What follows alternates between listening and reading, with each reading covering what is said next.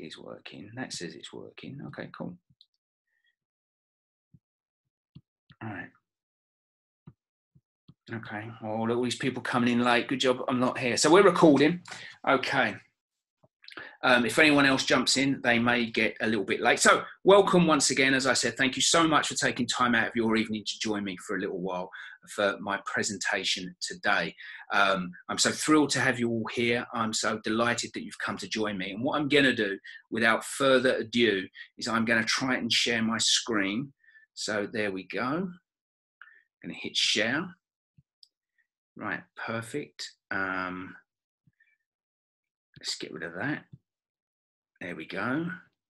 I know, see if I can get that. Can I hit that? There we go. Can we see that? Yeah, perfect. Brilliant. So what I'm going to do is I'm going to try and, um, I can't get rid of, how do I get rid of? There we go. Um, unfortunately, because I've got you here, I'm going to try and just move you if I can. My cursor seems to have disappeared for some reason. Okay, never mind. Uh, okay, so our presentation today, metaphysical principles to help you win the game of life. This might be a little bit tricky because I've got you all on my screen and I can't see my cursor. Um, so I'm not going to be able to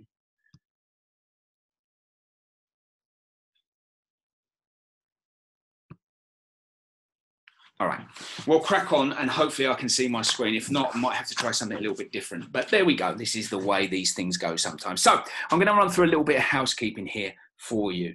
Um, I've got all my notes here, so I will be referring to these. I've got lots of notes. I've got a lot of information I want to give you, so don't be put off by that. Um, but ultimately, I want you to read what comes up on the screen. I want you to check out the pictures and um, just take on board what's going. As I said, this is being recorded, so you don't have to take notes if you don't want to. You will all get a recording of this.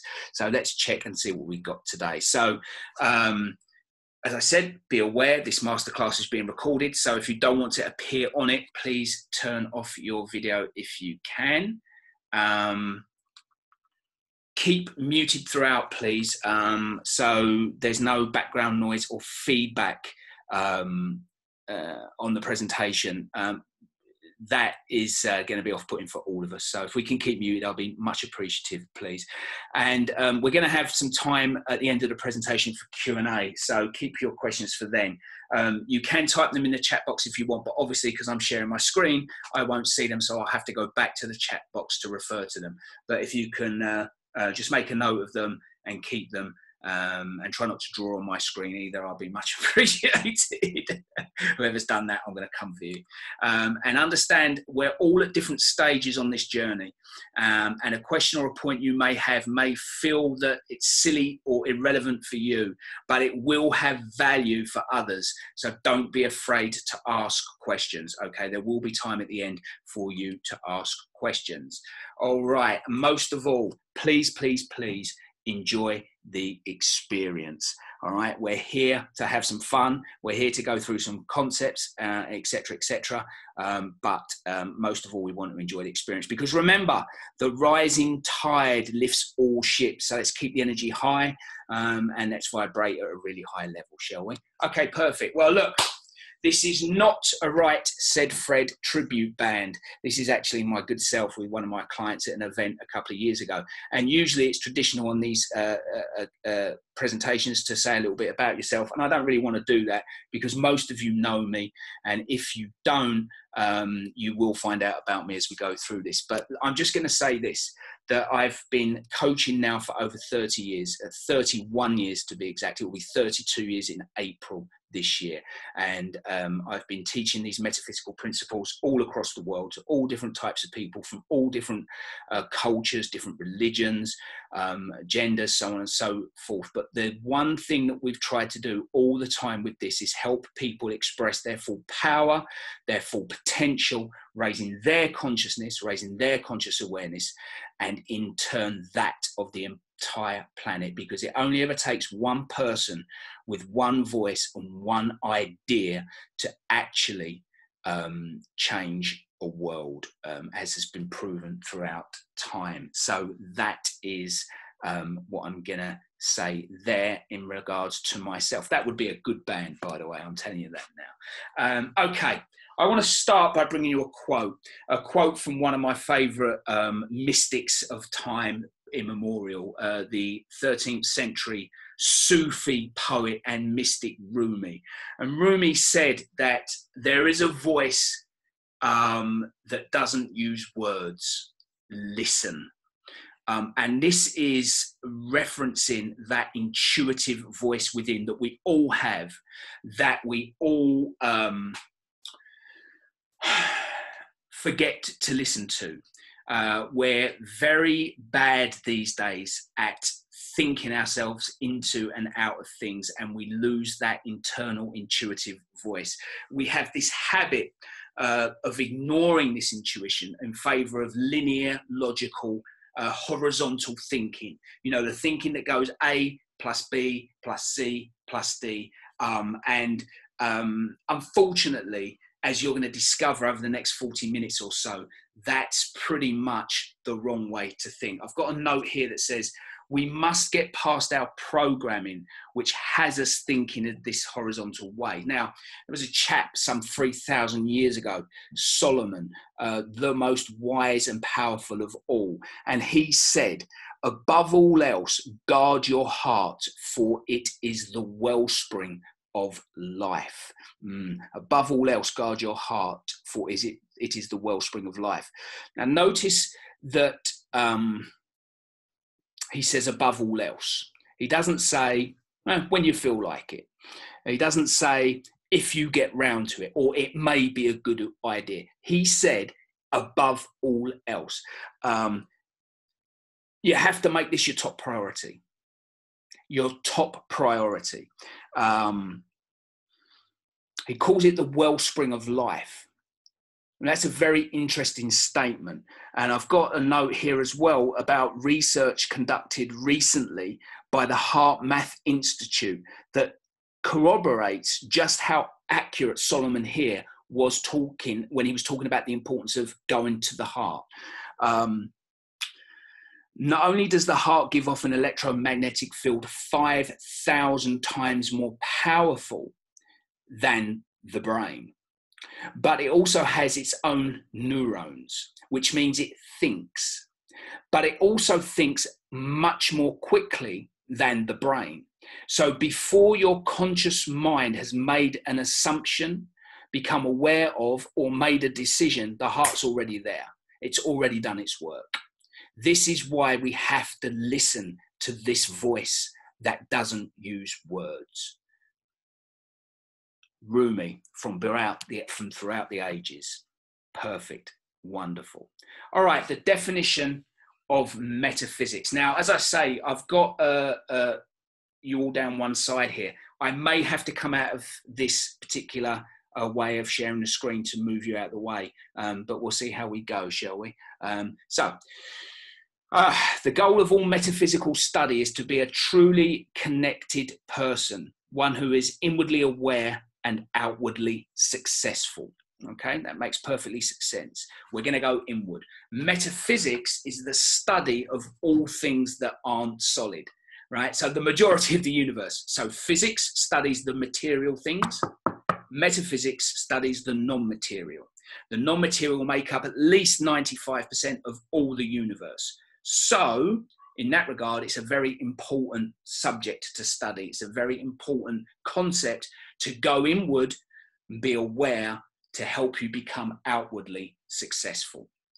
However, the real truth behind how that is achieved and the results that follow are much misunderstood and abused today. Okay, the truth has been watered down.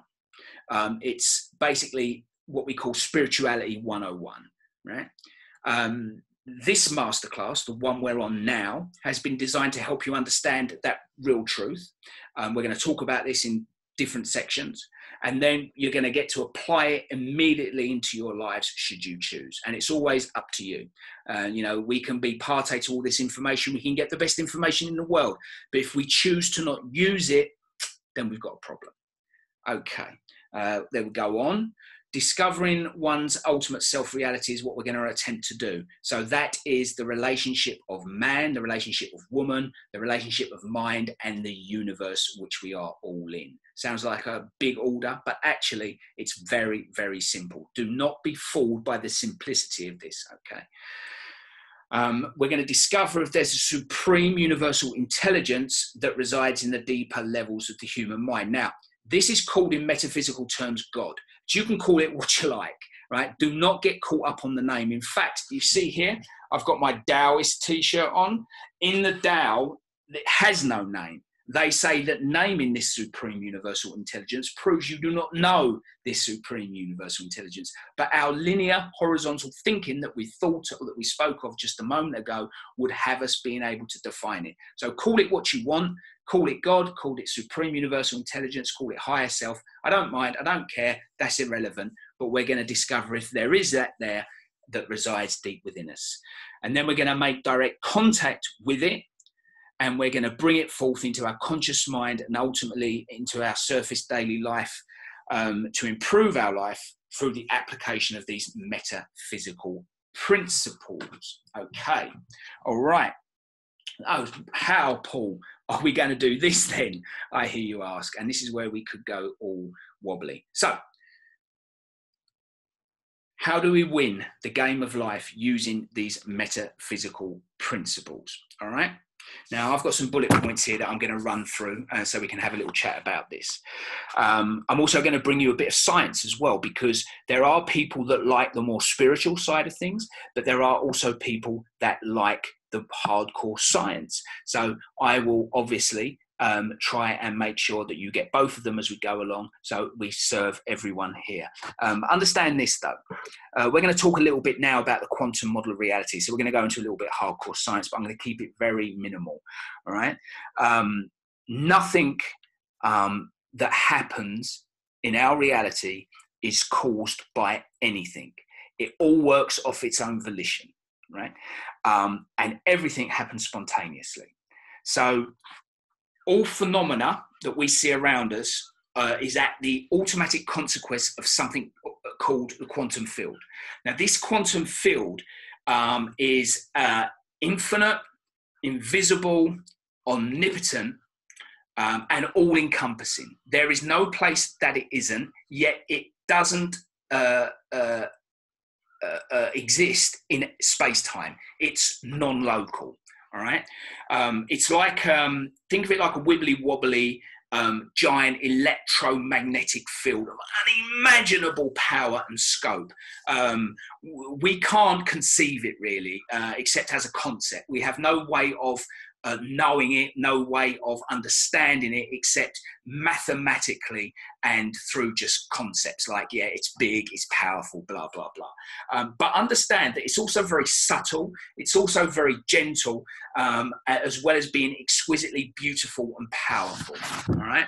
Um, and from this field, all potentialities which exist every potential outcome exists as a probability. It's a field of probabilities. Um, these potentialities are activated by the field itself through intention, conscious observation, and intention into actualities. Right? So everything that we see and interact with, including ourselves, comes from this field. Right? Um, what we consider to be evolution, the unfolding of things, the creating of new and wondrous things more advanced than before, is actually an ongoing creation of this field. Right? So the creationists and the evolutionists are both correct. Right? And they're both wrong because they're getting it slightly mixed up. Um,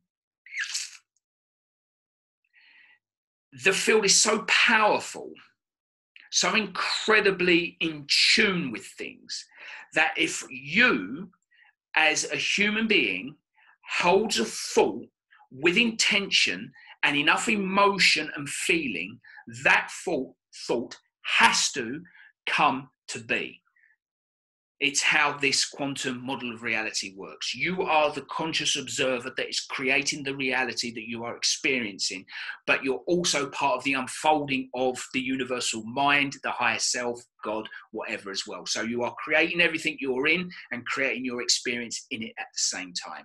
You are the knowing and the knower, the observer and the observed, the experience and the experiencing.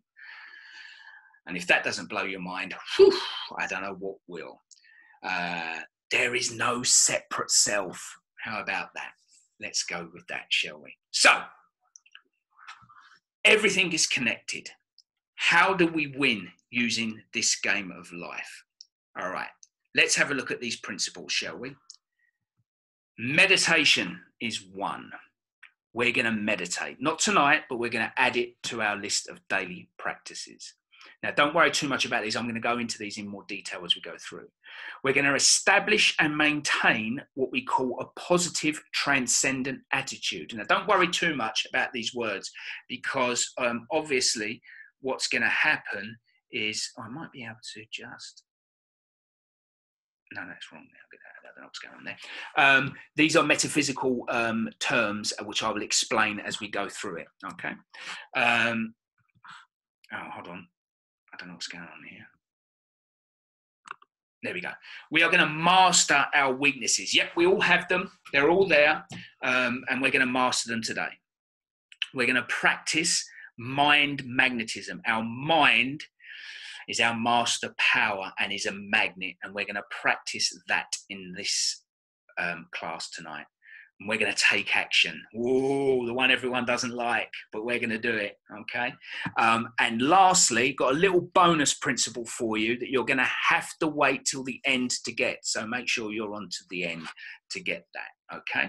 All right. Let's dive into mystical meditation. Um, whew, now, why is this so important? Well, we all know of meditation these days. It's been around for quite some time in the West and it's been around since time immemorial in the East. But it won't surprise you to know that the practice of meditation in the East is very different from the practice of meditation in the West. In fact, although there are many different types of meditation that are incredibly effective, and I'm going to give you some research on mindfulness in just a moment.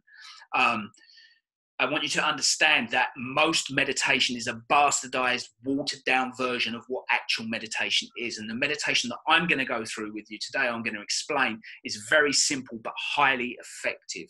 Okay. Um, so understand just this in the East, if you want to explore your conscious connection to your higher self, you can go to a monastery, you can go to an ashram, and you can meditate for hours every day 12 to 16 hours per day. In exchange for board and food you commit to work on the upkeep of the place you are staying in and it works very very well.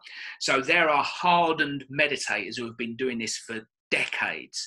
And there is some great research that, if you care to look for, you can find, um, which take these monks and these um, sages and do all sorts of brain scans, functional MRI, live brain scans on them while they're meditating. And the research is insane, absolutely insane. But that's in the East. In the West, we can't do that. We have a lifestyle that doesn't allow for that. And it would be churlish of us to try and do it and irresponsible. We have jobs, we have families, we have roles, we have societies and communities to upkeep. So we need to come up with a different way. And this is why there are watered down versions and versions that have been adapted for use in the West. We're going to talk about one of those in just a moment. Um, now, meditation sometimes gets a bad rap because people assume that the one thing that meditation is for is to stop thinking. And that's just not so. You cannot um, stop thinking. Um, it just doesn't happen. Uh, even the hardened meditators of the East, those that have been meditating for 30 or 40 years, can't stop their thoughts. What they can do is they can create a gap between them. Now, remember when we spoke just a moment ago about the quantum field and how that field is a field of immense power and potential, but it sits outside of space time. There is no time, there is no space, there is only the now. the infinite present moment. So if you can get a gap between your thoughts, that gap of one second, two seconds, three seconds to the quantum field, to the higher self, to the God mind within is an eternity. And it can download information like you wouldn't believe, should you be in tune with it. So that's what you go for when you meditate. You go inward, you come away from senses, and you start to use the power and the energy that you would put through your senses to turn inward and connect with that higher self. Very, very simple, um, but don't worry about stopping thinking. You cannot control that. You, these thoughts will come, they will go. You've just got to get used to letting them go and finding that gap. Um, and this is why um, it's important that you you practice um, and start very slowly. If you're a hardened meditator, fine. But if you're new to meditating, a couple of minutes a day, five minutes here, 10 minutes, 15 minutes, build it up. Um, usually, when I was taught this, um, it was recommended 20 to 30 minutes two times a day was the uh, uh, optimal you were aiming for but you can start wherever you feel comfortable okay there is no right and wrong way there is just your way all right um, when you start what tends to happen is you go into a state what neuroscientists call relaxed alertness. Now, this is not somewhere, no, not a, um, a place where most people are used to. Most people are used to being awake and asleep. And to go into a place of where you slow down your brain waves and become relaxed but alert, what tends to happen when people start meditating is they fall asleep because they're not used to relaxing in this way, which is why it is recommended that you can do this meditation seated or laying down, but I would always recommend until we get used to it to start from a seated position. Right.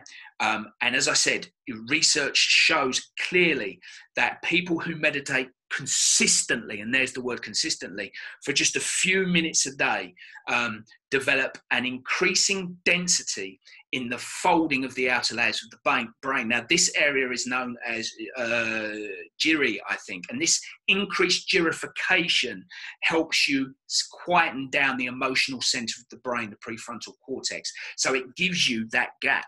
It gives you the ability to find that um, um, gap that, that helps you pause in this modern world. What Viktor Frankl called um, between stimulus and response is a gap. And this is exactly what he was talking about in his research and what modern neuroscience shows as well. Um, there was also some great research done by a doctor, Amishi Jha, who worked with the US Marines. And she worked with them eight weeks before they were deployed in um, battle in combat. Um, and she's an associate uh, psychologist, I think, at um, University of Miami. And she had them doing so. She had two groups of Marines. One group was the control group; they didn't meditate. One group were the meditating group 12 minutes of mindfulness. She took them through mindfulness practice uh, per day. When they went eight weeks later into combat, the meditating group uh, slept better, had less anxiety, had lower blood pressure, um, were more focused, made better decisions in combat, and were that much uh, um, overall their performance was increased. It sounds weird talking about performance with a soldier when they're fighting, but that's how they worded it in the study. Um, it made such a difference from the control group that the Marines in the control group asked uh, the doctor if they could start meditating while they were in battle. And although um, Dr. Jha uh, thought it would have no um, um, benefit because they were in a, a, really stressful situation, they were fighting, um, actually just starting the meditation there made a massive difference to their levels of anxiety and sleep. Um, so, um, proven in battle, meditation, even a small amount of meditation, has incredible benefits. And if it can benefit a soldier who's in combat, who is trained for that, imagine what it can do for us. So, let's have a quick look at how to practice metaphysical meditation, shall we? All right. So, all right, this is going to cause me a little bit of an issue. I might have to um, come out of here just a sec. Hold on one sec. Let me just do this. Let me see if I can do this here. Right, there we go. All right, now let me go back into this. There we go, rocking and rolling. All right, so uh, the following steps are used to simply withdraw the five senses and the mind from their attention to the world outside. This is what we spoke of a moment ago, and to make contact with the inner mental world of one's own mind, one's higher mind. So, you want to pick a place in your home when there's the least likelihood of your being disturbed. Um, you can practice the meditation sitting up, which is preferred to begin with, or laying down. If you sit, have both feet flat on the floor. Um, hands resting, palms up on your lap, body erect and comfortable. If you lay down, cross your ankles, you want a circuit here, right? Uh, fold your hands and place them over the central upper part of body. Don't put them over your stomach. And try to arrange it so that your head is to the north and your feet to the south if you can, uh, because that lines you with the Earth's magnetic field, apparently. Um, and use the same place to meditate every single day. Make sure the temperature in the room is between 21 to 23 degrees Celsius for us here in the UK. If you are uh, abroad and do Fahrenheit, 72 to 78, I think. Um, wear loose fitting, comfortable clothing. Don't wear anything tight, but don't meditate hungry or immediately after a meal when you're digesting. Uh, now, here we go. Get a single white candle, place it in front of you and turn it on, it, light it. For between approximately five to 10 minutes, stare at the flame. Then close your physical eyes. Now, you should see an after image of the candle flame on the interior region of your forehead, which is known as your third eye. This is what you're going to focus on. Okay, you're going to breathe nice and slowly, deeply in your belly, and you're just going to look, inverted commas, at this after image. And it may last for a moment, it may last for not longer, but focus on the image you see using this as an inner focal point of concentration. Okay. Now, that concentration is what's going to still your mind and give you that gap that we're looking for. And it will free you from the outer daily life thinking, making you more aware of this internal consciousness of your mind. And that is it. That is all you have to do. It's not any more difficult than this. As I said, if you want to start with two minutes, start with two minutes. Look at the candle for one minute, close your eyes for one minute, okay, and build from there. You can get apps that have chimes that you can set up for time. So I I go for 25 minutes, I think, at the moment. So I have a 10 minute, 10 minute, 10 minute chime. So I have a chime to start, a chime for 10 minutes, and then the next chime is at the end so I know when I can close my eyes. Okay, but you don't have to time yourself. You can do it approximately. You can just stare for a few moments, close your eyes for a few moments, and away you go. But that's what you're trying to do. You're just trying to um, focus on this inner point of concentration. Get that gap and let the higher self do what needs to be done. Okay, that's it. You don't have to force it, it happens automatically for you. It is as simple as that. Okay.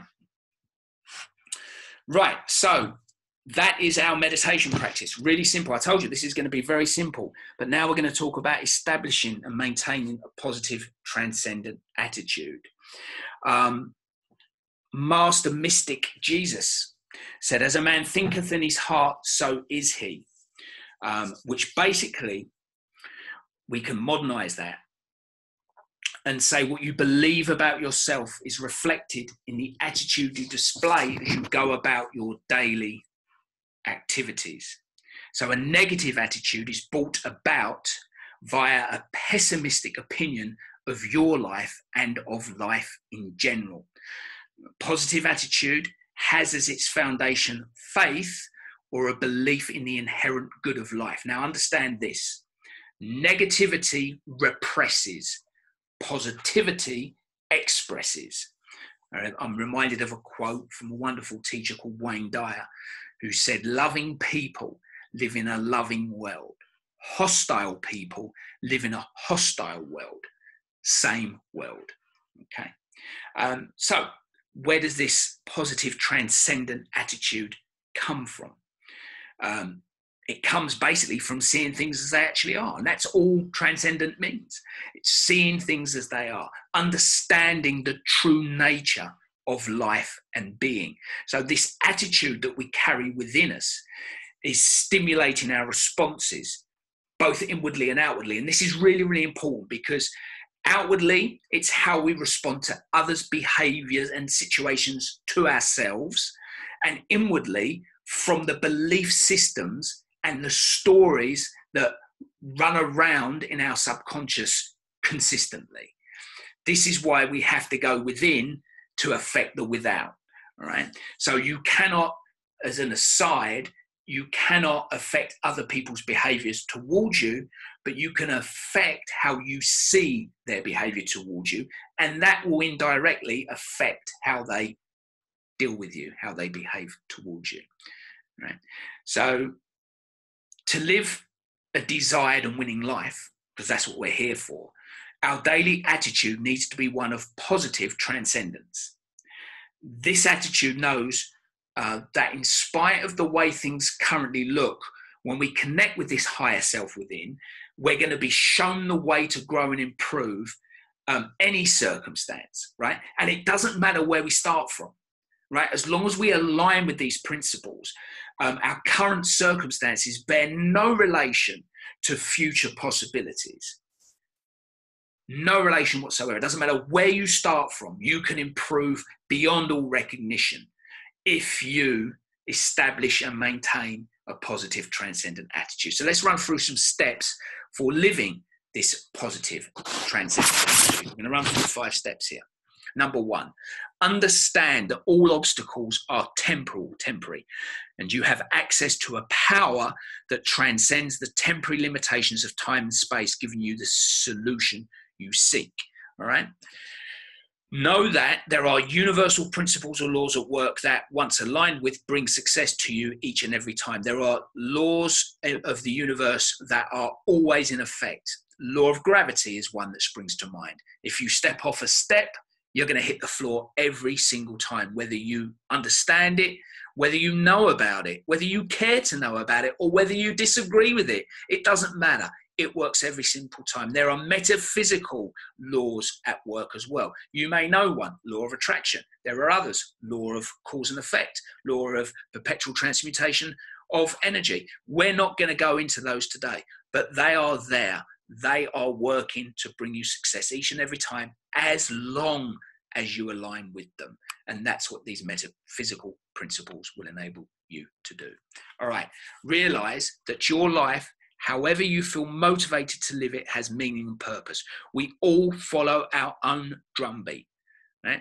So it doesn't matter what you want out of life, it is valuable and it has meaning and it has purpose. If it's truly you, then go for it and feel motivated to live it. Okay. Know that in the event of ill health, very topical, the higher self within has power over any malfunctioning energies in the body to heal them and restore them to optimal health. Now, I put this in because of what's going on right now.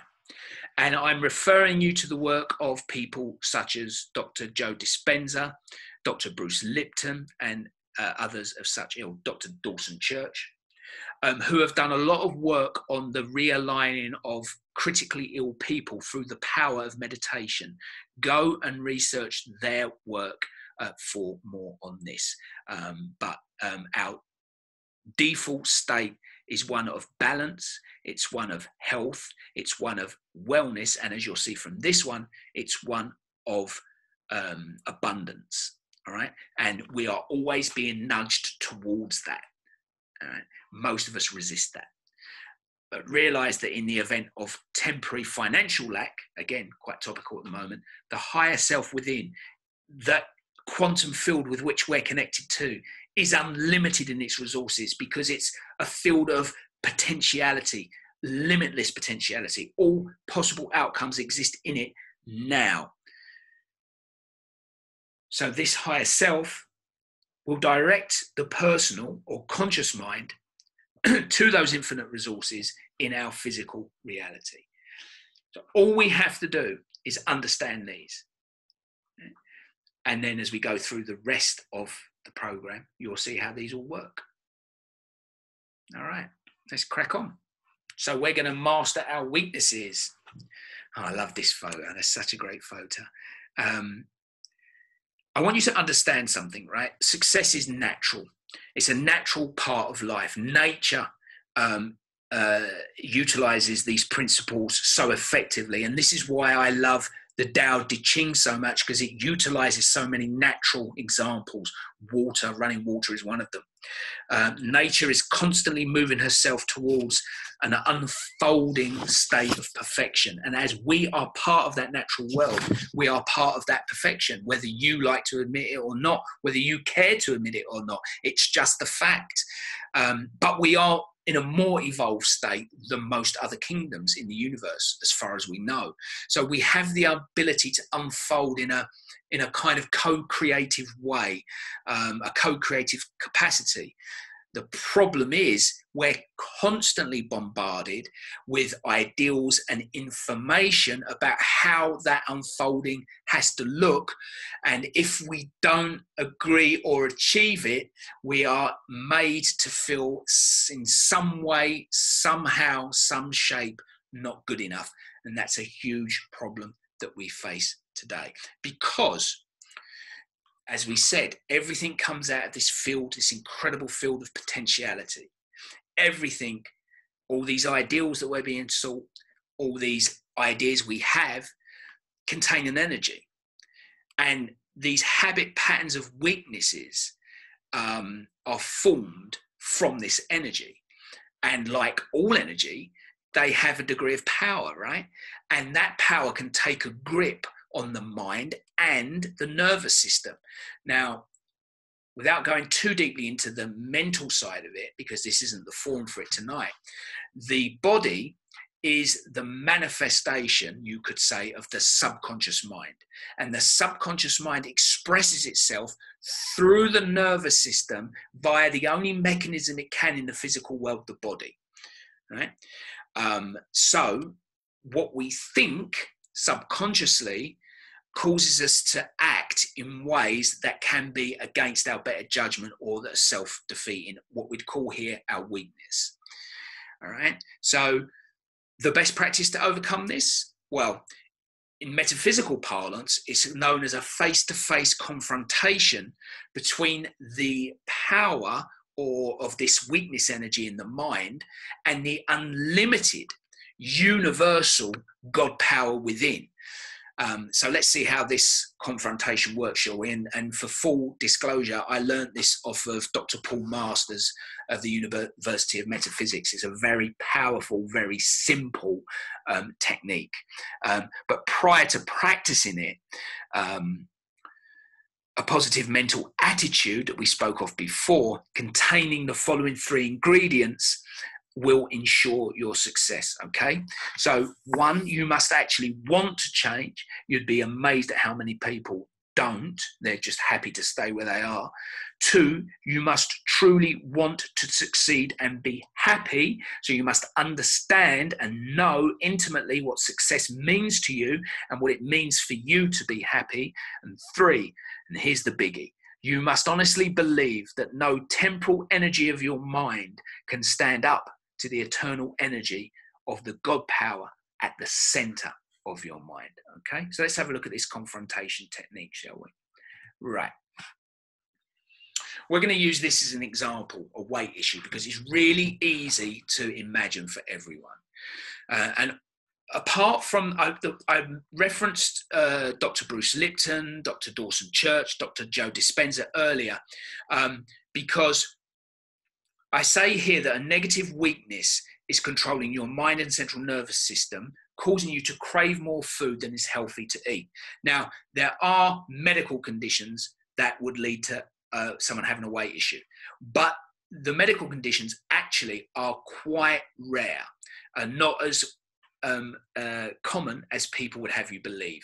Indeed, the work of um, Bruce Lipton would suggest, he, he's an expert in epigenetics, that genetically we suffer from between 1% to 5% of the time, and everything else is a lifestyle issue, right?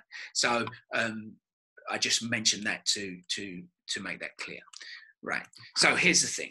So whenever you feel negative energy trying to take over, you need to go into direct confrontation with it. And you do that by affirming the following loudly the God power, or whatever you want to call it, within me is greater than the power causing me to overeat in this example. I yield my mind and my body to the God power within me that brings peace to my mind and body. So you have a conversation with yourself, right? And I want to just mention a word here yield. Yield, along with surrender, has really negative connotations in today's marketplace, let's call it in today's society. But to yield and surrender to a higher power takes, uh, uh, to yield and surrender to truth, to a different way, to a new way, to a, a, a, way that everyone else walks away from or doesn't understand or poo poos, takes strength, takes power, takes passion, takes the warrior within to do. It's a place of strength, a place of love unconditionally and strength. So never shield away from yielding or surrendering to a higher power within. Notice that it's within you. You're not giving your power to anyone or anything outside of yourself. It's always to within. That's a very important distinction. Now, as you do this, try to feel that greater power within. So you might need to repeat the affirmation until you feel stronger, you feel more powerful. Hold this feeling until you no longer sense any influence from the weakness energy. So until you don't do what you were going to do. So if we're talking about a weight issue here, maybe you're on your way to get some crisps or chocolate out the cupboard, and you say your affirmation and you repeat it, and you start to feel powerful and you start to feel in control. You turn around, you go and sit down, maybe taking an apple or a glass of water with you. Then you say the following I give thanks for the God power or whatever of my mind for giving me self mastery. So you praise yourself for your efforts. Now, again, it takes practice. It's not something that you do once, you do it over and over and over again until you have yielded to that power within that seeks balance, harmony, health, wellness, and abundance at all times. Um, you can use this in any way, shape, or form. Um, I had a client, we used this exact technique because he couldn't get um, past the interview stage. Um, in trying to get a job a few years ago, about four years ago, we used this the first interview he went with. He said his affirmation before he went into the interview. He said it over and over again. He felt that power within went in, smashed the interview, got the job. It really, really works. And it always starts with these words the God power or whatever within me is greater than whatever it is, the situation. Continue repeating and attempt to feel the God power of your mind take over. After you have felt or seen the positive results, you give thanks for self mastery. Okay? Simple as that. Right then, Aha, mind magnetism. Well, we're cracking on, nearly done. Thank you for your energy. Thank you for hanging in there. Um, now, one of the main reasons to use meditation um, is to quickly realize that your physical brain is merely a vehicle used by your true mind, uh, which is no more than an infinite field, as we said, of unimaginable power and energy, which in metaphysics we refer to as God, but in um, science it's referred to the quantum field. Right? Um, all the conditions and situations that you face in your lives are also fields of energy, right? But they're all manifestations of this one source. Life then is an exchange of energies. And that's why the law, uh, perpetual transmutation of energy, is so important to understand. But as I say, I will do a masterclass on them at some point. So, what metaphysics teaches us is that the energies of the mind are on different wavelengths or frequencies, much like um, separate radio stations. And you tune into separate radio stations and you get separate stations when you do. But it doesn't mean that the other frequencies and the other stations aren't there. You're just tuned out of them. Your mind tunes in and out of these frequencies all the time. Um, so we attract to ourselves in physical material form that which we are emoting or thinking on on a mental level. And emotion plays an important part here, as well as the mental side of it. Um, we will attract telepathically whatever we spend most of our time um, thinking about. So Um, if you think positively, you'll attract positive situations. If you think negatively, uh, you will attract the opposite, the negative of it, because this is a universe of no exclusion. Whatever you are thinking, you experience. All right. Um, this is a cornerstone of metaphysical teaching. And all teachers and sages and mystics down the ages have disagreed on stuff, countless bits and bobs, but I've all agreed on one thing. And that thing is you become what you think about most of the time. So, what you have in your mind most of the time is what tends to show up. And you think you're thinking about it because it's in front of you, but actually you're creating the experience because you're thinking about it. All right. So, how do we practice positive mind magnetism? We maintain a positive mental attitude. Practice more conscious awareness throughout the day during all your activities. See, meditation can be doing anything. Be present, be mindful, be alert, be conscious. Uh, neuroscience suggests we are only consciously aware 5% of the day. So we need to practice more conscious awareness. Do not accept a negative condition. Very difficult at the moment, but look at it as a test. Never see a negative condition as reality. React immediately with a positive, constructive thought on how to improve the condition. This activates the law of polarity because if there's an obstacle in front of you, because of the wonderful law of polarity, also known as the law of duality, um, if one uh, obstacle exists, the way round it has to exist at the same time or it can't exist. If there's a question, the answer has to exist or it's not a question, it's a statement.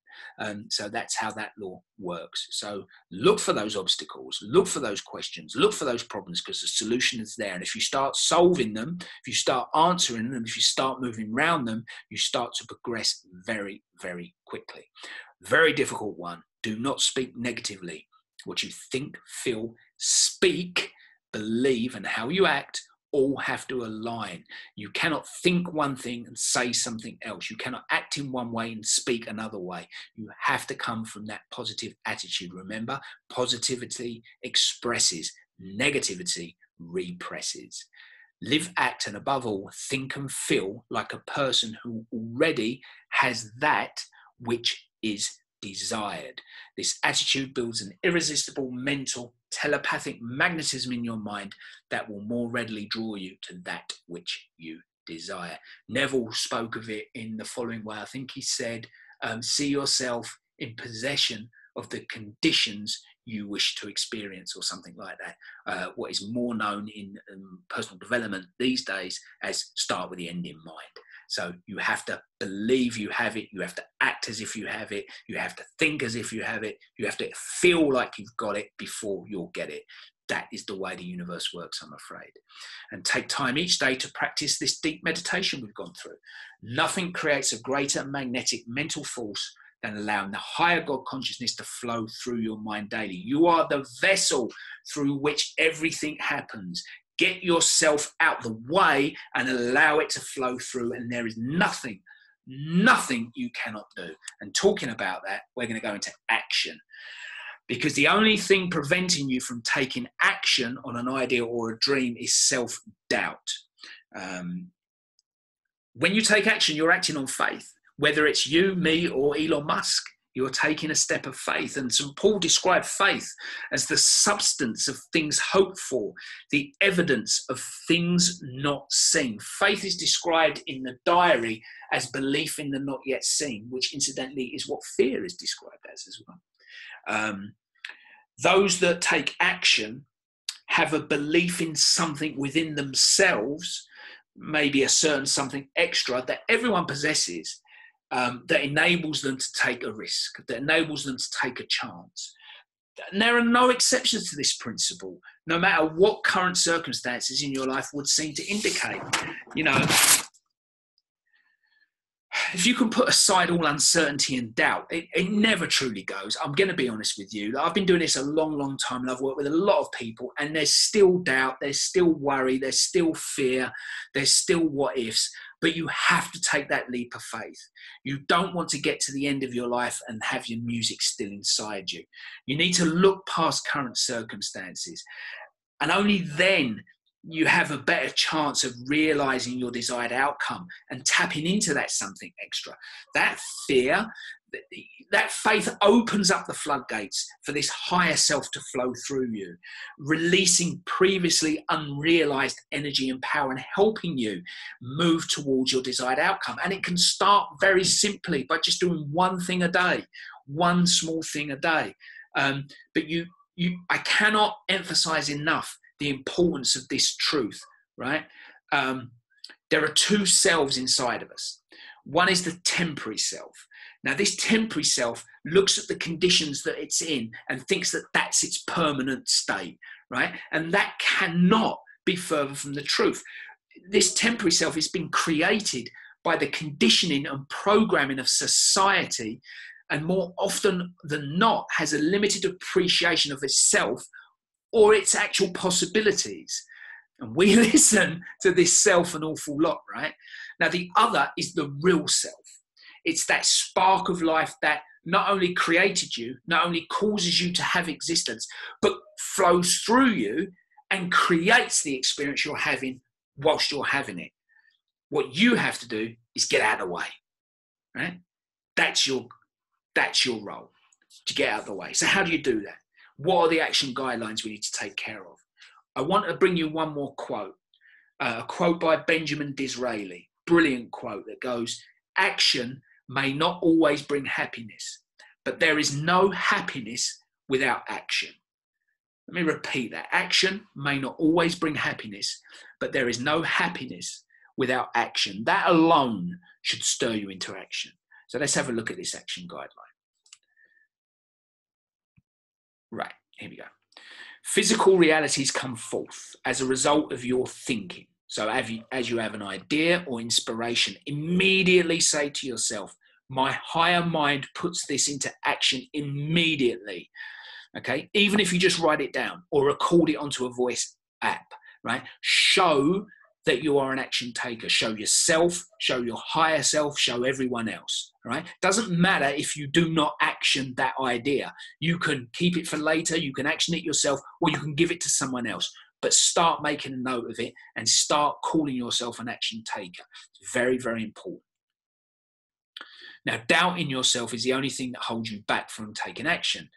Realize and constantly reaffirm that the same higher mind that created the idea, you don't create the idea, all the information that ever existed exists now and will exist is here already outside of space time in that quantum field, right? everything. You tap into it and bring the idea back with you.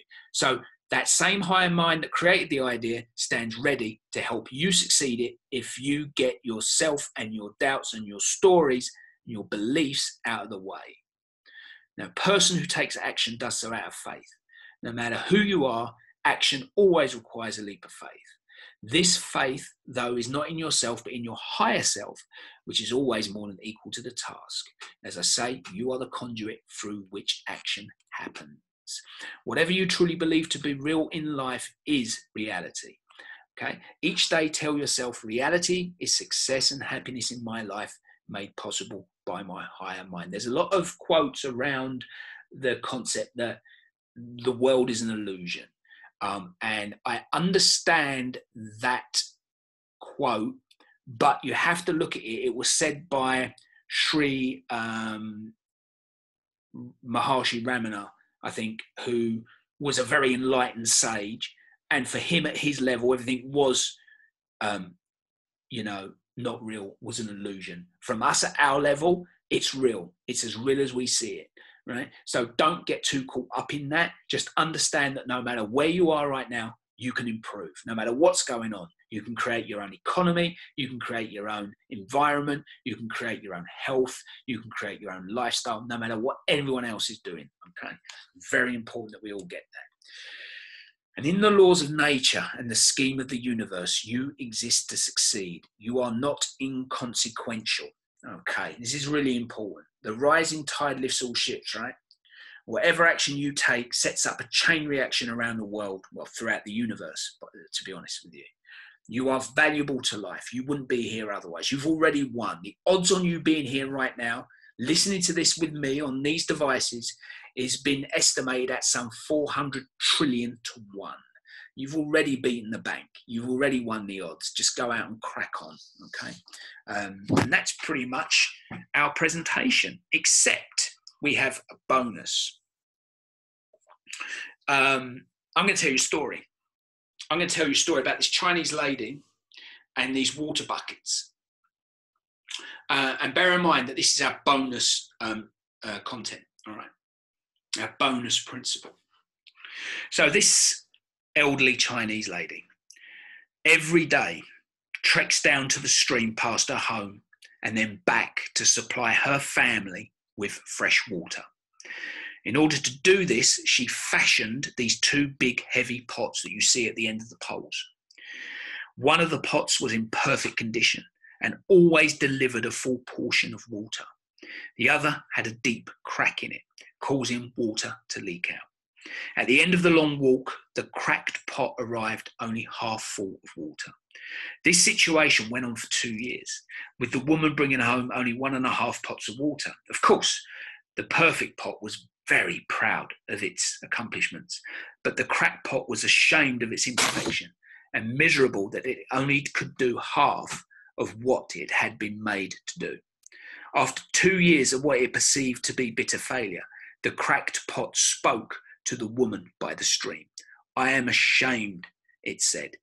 This crack in my side causes water to leak out. You work so hard and yet have little water from me once you return home. The old woman smiled and replied, Did you notice that there are flowers on your side of the path?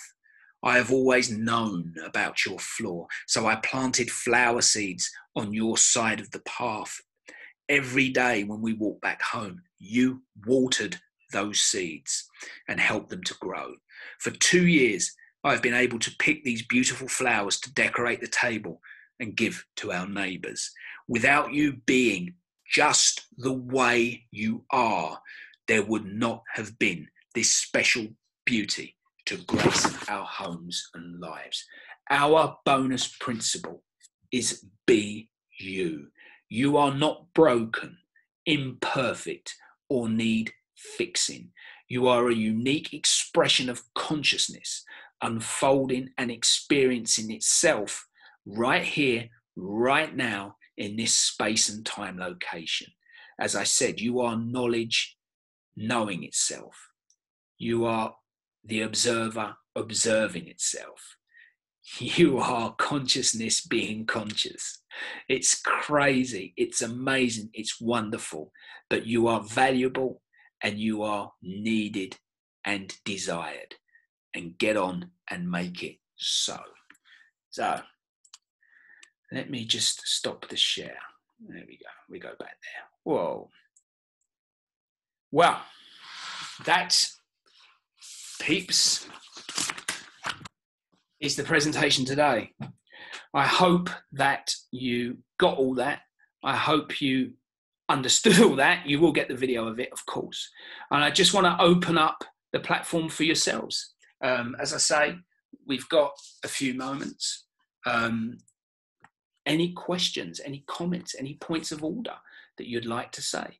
Um, I've got, I can't see everyone, so let me just flick you through to the gallery view. Uh, there we go, so we can see everyone. All right. So if there's anyone that wants to say anything, now's the time. If not, that's absolutely fine. You don't have to. Um, I don't mind anyway. Okay, so Janine, um, let me unmute you. You should un- be able to unmute yourself. Can you unmute yourself? Hi, hi, Paul. Hi, Janine. How you doing? So good to I'm see. fine, thank you. Yeah. Um, I'm just gonna have to turn my sound up. I'll just. That's better. I can hear you better now. You. Um, it's not a question. It was just uh, the meditation with the candle. Mhm. Um, I've the only time I do meditations is really uh, when I'm listening to a sleep meditation or something like that. I Find it really difficult um, to clear my mind and just be. And I think that's like you said, we're either asleep or we're busy, Mhm. so we're never in that sort of relaxed state. So the um, the, the watching the candle before you just do a couple of minutes of meditation sounds really interesting to Right. me. So um, it's not a question. I was just like thinking that's um, I've never been told that before, and I've Right. been on lots of courses and I've studied sort of coaching and all sorts of things. But um, so I'm going to try that. So thank you for that. That's no problem. But can you let me know how that goes? Yeah, Give me a yeah, for a little while, a week or two, and then and let me know how you get on with that. yeah. I've got um, a few really big decisions I need to make around business. Okay. and um, my mind is just um, overloaded with fear. You know, so like you were saying, then maybe the answers will come. And I think at the moment, um, there's so much fear; it's just clouding my decision making. I'm just, um, what's the word? Um, you know, when you, um,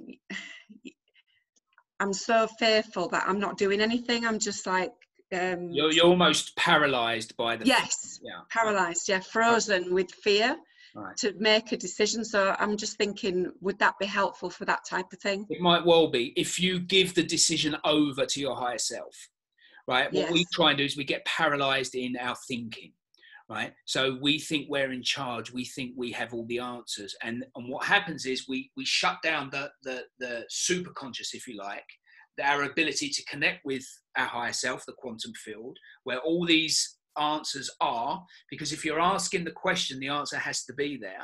So you need to ask the question and then get out of the way right? Yeah.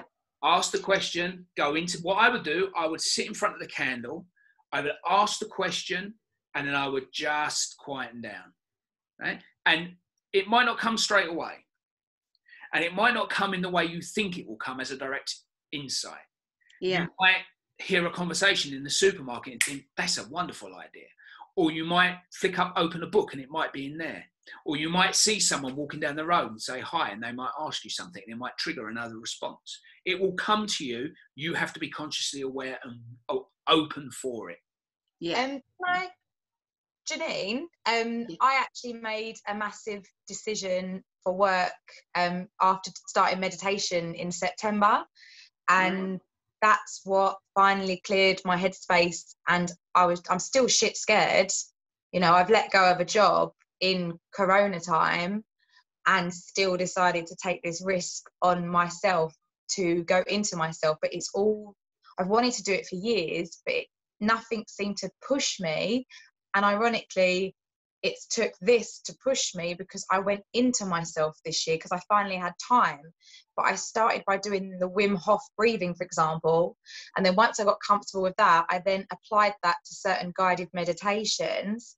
And then through those guided meditations, it was like I could unblock certain areas of my mind yeah. and then I could just make a decision. And I just, I just knew after, and then I did this yoga session, applied the breathing with the meditation, and at the end of the session, I, s- I stood up to uh, my friend and I was like, I've, I, I'm going to resign. I know exactly what I need to, and I can't explain this fire in my belly, and and it just Mm. finds all sort of, and my ideas every night. Like sometimes I don't sleep because I've got so many ideas. It overwhelms me.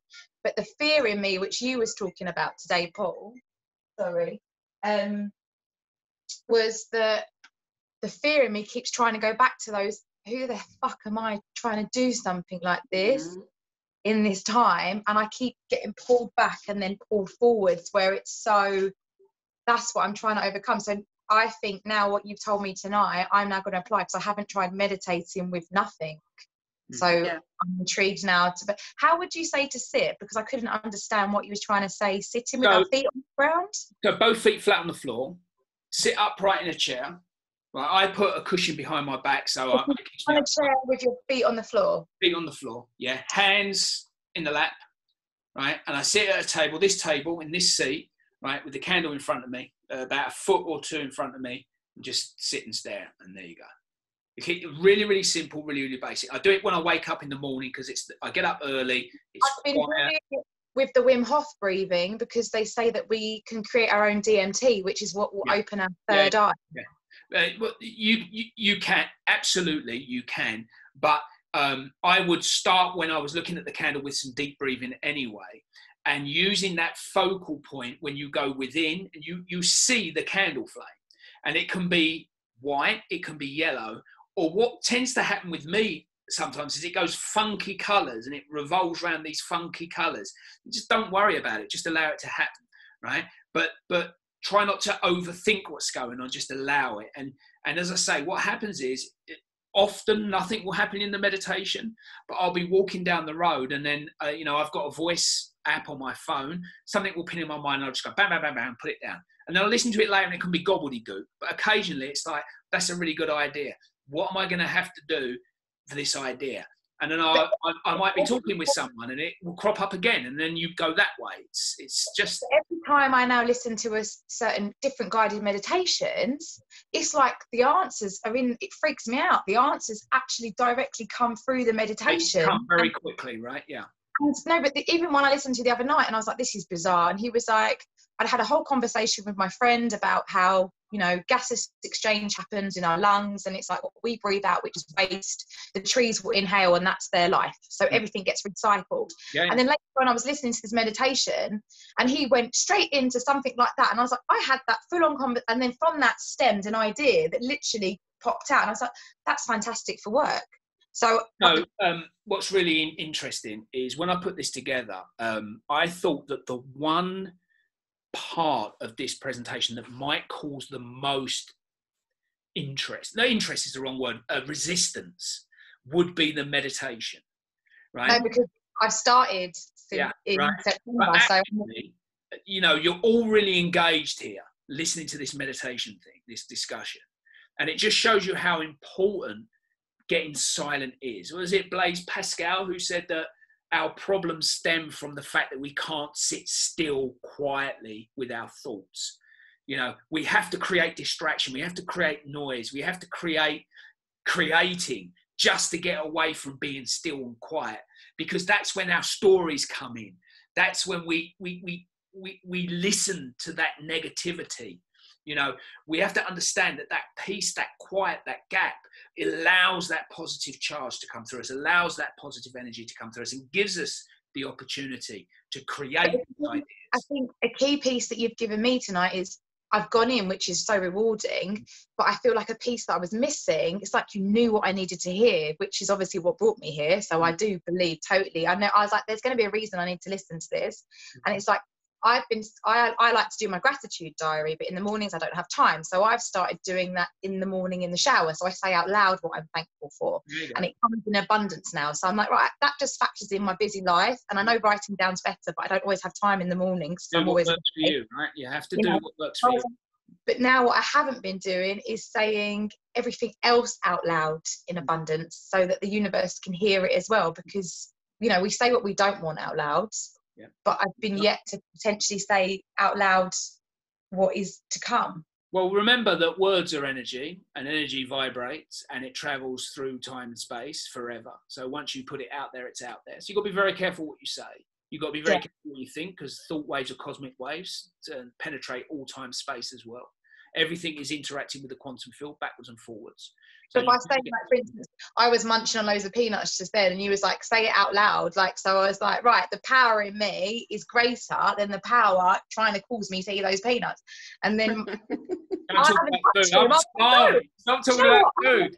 I was like, I'm trying this. Harry Lee wants to eat Amy. Don't worry about that. No, I was like, mate, I'm gonna, I'm gonna override this system because if this is, I do believe this is true. Because what I say to people when they want to lose weight, I'm like, stop focusing on the scale and what you, you don't, because you're, you're going for the wrong. Once you stop worrying about the weight loss, that's when it happens. There you go. There you go. That's perfect.